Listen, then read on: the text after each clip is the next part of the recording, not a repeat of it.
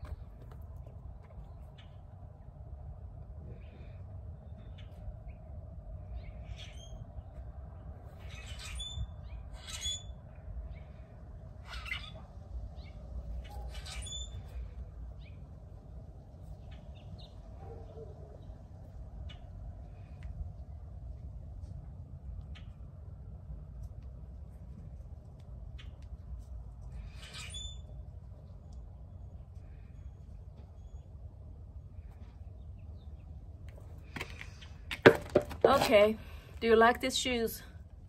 How you think about the quality? Again, these shoes are fake Adidas Yeezy 700 shoes. It's not authentic, okay?